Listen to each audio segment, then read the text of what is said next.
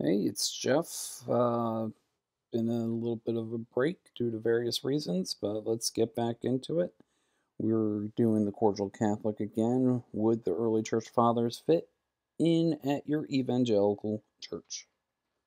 Hi, I'm K. Albert Little, an evangelical convert to Catholicism. And one of the things that drew me into the Catholic Church, and this is the same for lots of converts, was the early church, the early church fathers, the very first Christian writers that we have recorded after the apostles, after the writers of the New Testament, and some contemporary with the writers and the writings of the New Testament in some cases. And one of my friends, Rod Bennett, who is also a convert from evangelical Christianity and through the early church fathers, has written a number of books on these subjects. He was a guest on my podcast recently. I'll put a link down in the description of this video to that episode. But one of the questions that he asked that I think was so challenging to evangelicals who are looking into Christian history and looking into the Catholic Church, maybe, and the, the history of Christianity, the, the early church, is would any of the early church fathers be welcomed as a teaching pastor in your evangelical church? Well, how, about all the early church fathers who knew absolutely nothing about the Assumption of Mary? How about all the early church fathers that knew nothing of purgatory? Or the early church fathers who didn't believe in a papacy? Would they be welcome to teach and be a pastor at a Roman Catholic church? It's such a fascinating and rich question because well, it's only fascinating and rich if you've never really thought that, hey, the Roman Catholic Church of today doesn't match the church of the first century either. That everybody has kind of progressed since then, so uh, let's not use unequal weights and measures. Let's continue. Because to answer that question involves wrestling with what the early church fathers believe and what. Did you wrestle with it? Did you even know that the Assumption of Mary was completely unknown uh, for centuries and centuries? You believe in your evangelical church. Now, here's what Rod says. He says, Sure, you can find lots of these early church fathers who say things that sound evangelical. Well, yeah, you have stuff that's very evangelical. They were evangelists after all. But you also find those same early church fathers saying things that are distinctly Catholic. They, like when they said things like Mary was a sinner. Let me see if I have that. Uh, or lack of, that's the lack of relics uh, playlist. Uh, oh yeah, here's the playlist on how all these different early church fathers who didn't believe that Mary was sinless. Things about baptism, that it really saves. Things about the Eucharist, that it really was the flesh and blood of Jesus. It's hard to get into that because you had different people who d- believed different things, and you had people who were using language which you can, after the fact, you can, like, say, I'm very sure Augustine did not believe in the real presence. But you can read him and he's talking about the flesh and blood, but then in another section he's, you know, saying it's bread, right? And it's pretty clear he was being uh, using, for lack of a better term, flowery uh, language.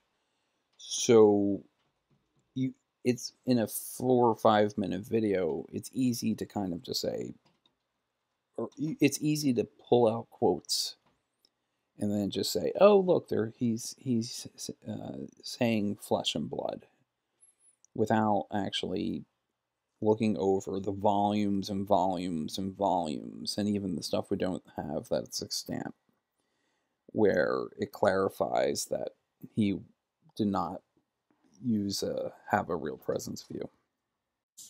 Things like confession, relics, the same. Oh, confession and relics.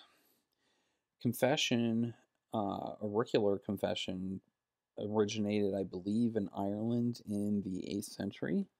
And from our playlist on relics. Here, let's and, go with this. And this is the point where they say, hey, a lot of other stuff, it's hard to, for us to trace back that far, but but this one we can trace all the way back to the scriptures. And, and there's two interesting points I want to. All right, I'll let you guys. Uh, I'll put a link into this, and we'll uh, let you go because I think I played this last time, and because I think you mentioned uh, relics last time. You, they can't uh, trace it back before the late fourth century, and it makes me wonder, like, what what is going on here? Why why does does he view a quote from the late fourth century and being like, "Whoa, that's the early church," or or does is there some sort of psychological thing going on? I'd have to like talk to him, say, "What did you see? When did you see it?" That sort of thing. Saints. These things are distinctly Catholic, and those early church fathers who say things that sound evangelical that might fit in your evangelical church would have fit in mine also say things that are at odds with the evangelical faith. And they say things that are at odds with Roman Catholicism. Let's not be naive. Let's, or maybe better yet, let's not be ignorant. Things that would not fit. Things that if they said in that church, they'd be thrown out of town. It's a great question. And the, they would be condemned as a heretic today in Roman Catholicism. But the way you get around that is to say, well, it wasn't defined yet or something like that. It's it's a dodge.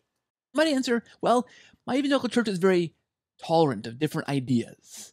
Our belief system is is more wide open. We believe in Christ, centered on Christ, and these other things are, are add-ons and they're negotiable.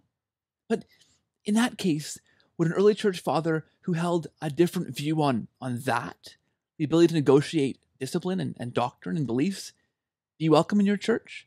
Because you have early church fathers like Irenaeus, who wrote massive works against heretics, against people who didn't fit in what was a singular, united church passed on from the apostles through the succession of, of bishops, through councils, so, would he fit? Uh, you want to go with the succession of bishops. All right, this is from Pope Benedict. The concept of apostolic succession was clearly formulated, as von Campenhausen has impressively demonstrated, in the anti Gnostic polemics of the second century. Okay, apostolic succession does not come from the first century, and not, as some Roman Catholic writers assert in the first century. Its purpose was to contrast true apostolic tradition of the church with the pseudo apostolic tradition of gnosis. So, in seed form, the, what we today believe as apostolic succession is, in Roman Catholic uh, terms, uh, comes from Irenaeus and anti-Gnostic, uh, Alva anti-Gnostic apologetic, which made sense at the time, but it's not in the same way. I'm sorry, he looks kind of goofy there. Let me. No, then we'll help. Um. So that anti-Gnostic uh, apostolic succession and how Irenaeus used it made sense, but it's it wasn't in relation to a non existent papacy, which is how they define it today. So, um, anyway, let's keep going. In your evangelical church? Because he would get there and say, hey, these things don't fit with what I believe back here and wrote about. And he didn't preach tolerance. The early church didn't didn't preach that. So I don't think that works. And maybe you'd say, well, do you want to talk about Pope Francis and preaching tolerance? You want to go over the video where um, with all the other stuff? This early church father wrote about these things that are very evangelical, and, and so they would fit in. But again, dig deeper. Because it's one thing to pick and choose quotes from the early church fathers that seem to sound evangelical. But I can guarantee you, look deeper. Look at what else that early church father said, because they'll say things that are distinctly Catholic. And how do you wrestle with those? By actually under. I'm sorry, dude. Um, I keep making your face look funny. There you go. Um, and you can do that to me, so I don't care.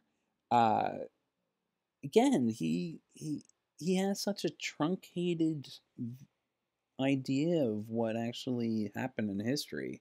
Some some sort of idealized view. He he doesn't even understand what runs counter to him. It's kind of I think it's ignorance. I I don't the vibe I'm getting from him is that he means well and I don't think he um I don't think he understands what's going on. I don't think he has a full knowledge of history. So, it's a great challenge, I think, and really one worth digging into, worth thinking about, worth turning over in your head. Because what is the ramification?